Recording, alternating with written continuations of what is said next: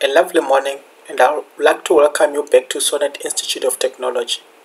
My name is Bruce Malaudzi, and I'm super excited to be your instructor for the hands-on pen testing course.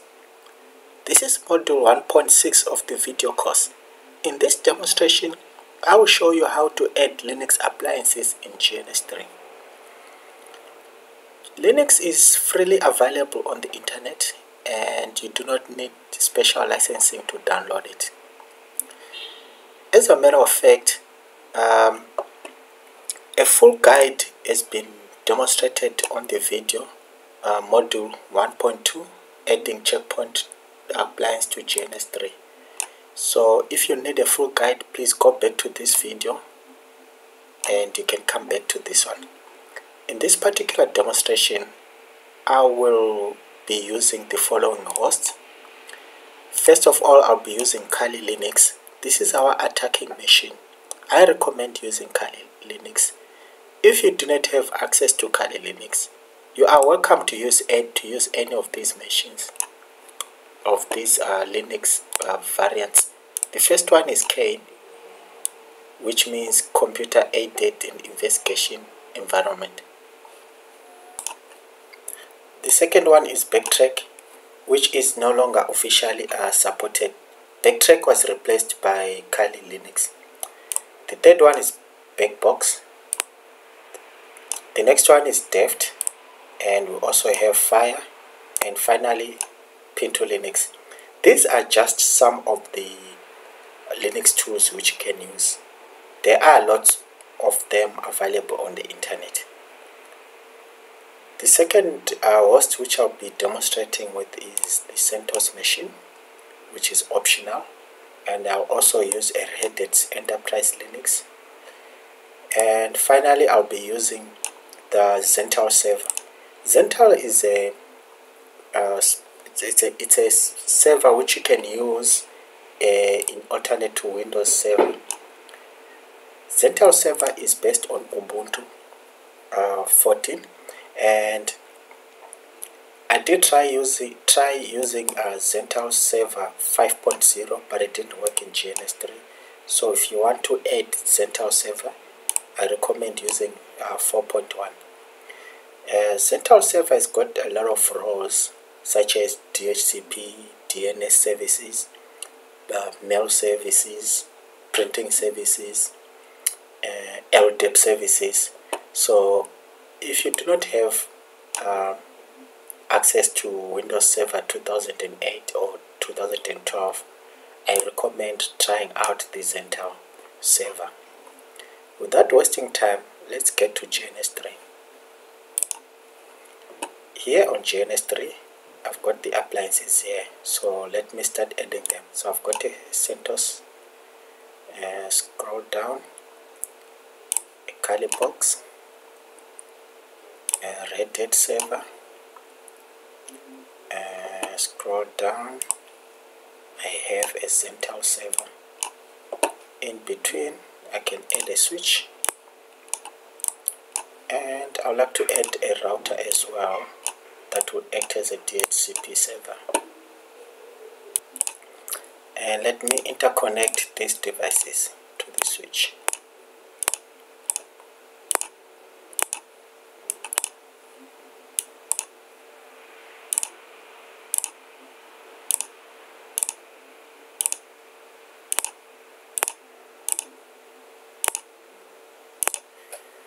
Once I'm done, I would like to use the 172 network. That will be 172.16.1.0 slash 24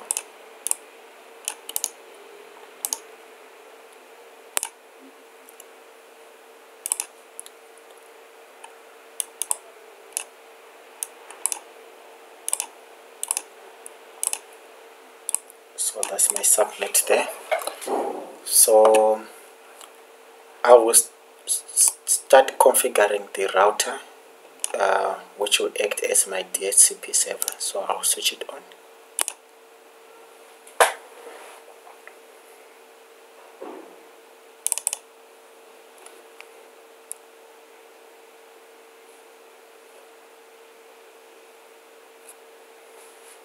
Okay the router is booted so I can start configuring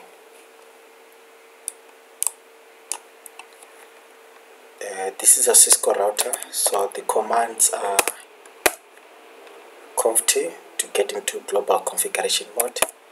And the next command will be ip dh dhcp pool. And I like to call my pool as my pool.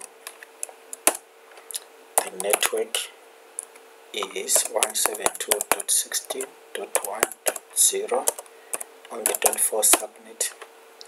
And the default route is 172.16.1.254 and I can exit from there and select my interface that is Ethernet 00 and my IP address is 172.16 um. This is the IP address which I need to assign to assign to the router on interface Ethernet zero slash zero. So that will be one seven two dot sixteen dot one dot two fifty four on the dot four subnet. I need to bring up the interface. That will be no shut command uh, I can exit and save. If I do the show IP interface brief, so my interface is up and my IP is sorted out as well. So I can exit from here. So I'll bring these devices one by one. So I'll start with the CentOS machine, right click. Uh, before I start the CentOS machine, I need to bring up the switch first. So bring up the switch now I can bring up the CentOS machine. CentOS machine, I'll log on as root. And if I do cat etc hat release, you can see that I'm using a CentOS 7.1. So let me check my IP address. And it has been assigned a dot one address from the DHCP so it's working perfectly and I can exit from here. Let me bring up the Kali box.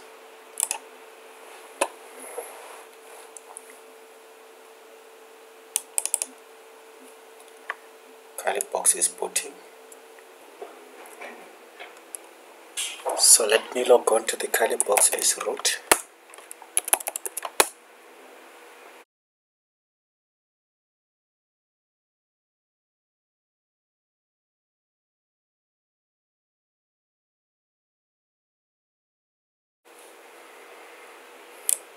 Okay, let me start the terminal shell.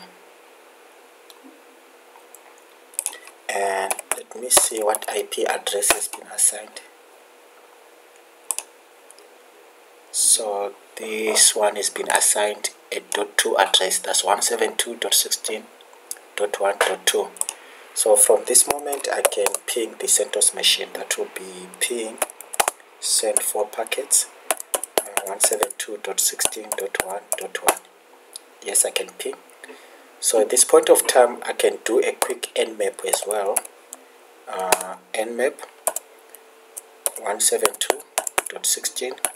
172.16.1.1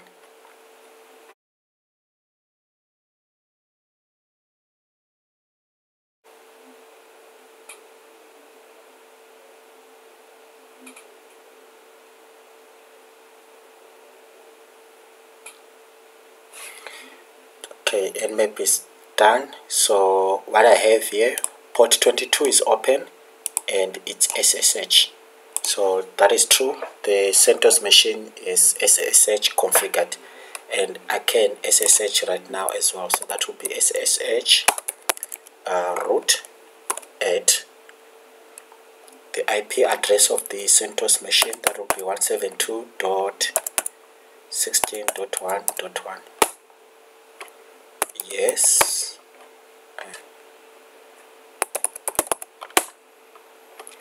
okay so I am connected to the CentOS machine and if I do the IP address you can see that belongs to the CentOS machine. If I do uh, cat etc rated release as you can see it belongs to the CentOS machine. Okay so as from now I can exit here and go to the next one.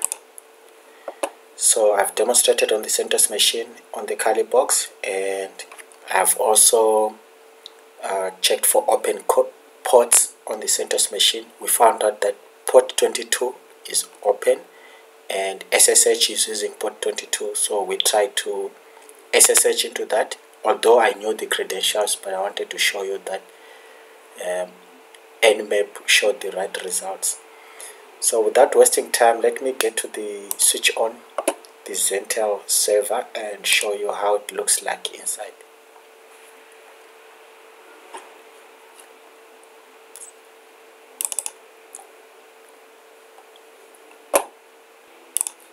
Okay Zentyal server is booting. So just wait until it boots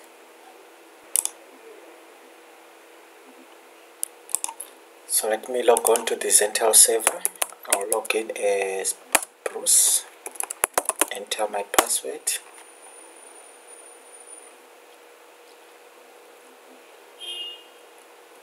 Okay I am logged in. And so once the web GUI starts you can enter your username here and your password here. Click enter. And then you are logged on to the dashboard so the dashboard show you um, takes you to the configurations. So you have your network configuration here your interfaces and I can set one and say DHCP so it will get a DHCP um, network uh, configuration. Then I can scroll down and see which modules are running as well so once I click uh, save changes the changes will be saved. As you can see it's, uh, it's saving the changes here. Just have to wait till it finish. Once the changes have been saved you can exit from here.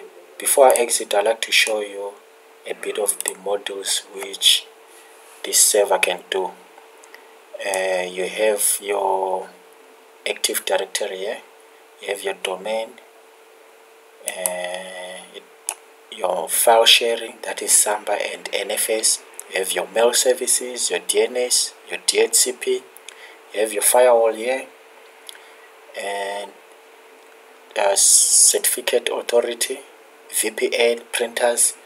So this server can do much and you can actually use this server instead of your Windows 2008 or Windows Server 2012 so I can minimize this window and start the console enter the root password and I can check what IP has been assigned to this machine since we are using DHCP so this machine has been assigned a .3 address. So the IP address is 172.16.1.3 so I can minimize that and minimize that window can go back to the Kali box and log in back Nmap uh, the IP address of the uh, server. So that will be 172.16.1.3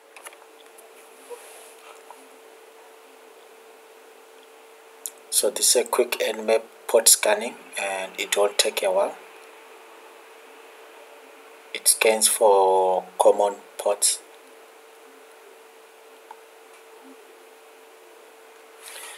okay uh, port scanning is done. So let's see what we have here. So the Zentyal server has SSH open.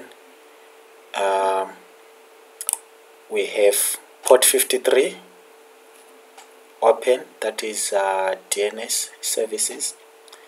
We also have port 389 so LDAP is configured. We have what else do we have here? Scroll down. It's quite a lot of services. As I showed you there are a lot of lots of modules running on this server as you can see. Um, I have DNS running file sharing mail DNS um, DHCP firewall VPN therefore if I would like to SSH into Zentyal server I can do it. That is SSH Bruce at the IP address of the Zentyal server. And type in yes. And password so I am logged in at the Zentyal server so um, there's no need for me to switch on that Red Hat uh, server um, so far I've demonstrated you by using the CentOS machine, uh, the Kali box here, and the Zentyal server. So we did a quick port scanning on the CentOS machine. We found that only port 22 is open, so that is SSH. So I logged in uh, to the CentOS machine because I know my credentials. I also switched on the Zentyal server. We logged in and we checked which services are running then we also did a quick port scanning as well we found that a lot of ports are open because the server is running a lot of services so in the next uh, module that will be module 2 I'll show you how to use nmap in scanning the network and then once you find your target you do port scanning and try to um, to find out which ports or services are vulnerable. So I'd like to thank you for watching and I hope this has been informative to you. Goodbye for now.